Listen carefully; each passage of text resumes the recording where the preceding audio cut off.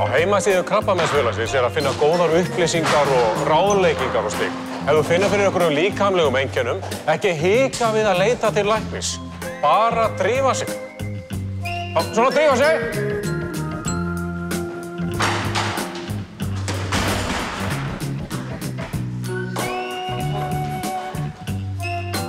Gefðu þér tíu mínútur, lærðu að þekkja einkennin og nýta forvarnir. Farðu á mottumars.is, skráðu þið til keppni og sapnaðu áhittum. Krabbameinsfélagið.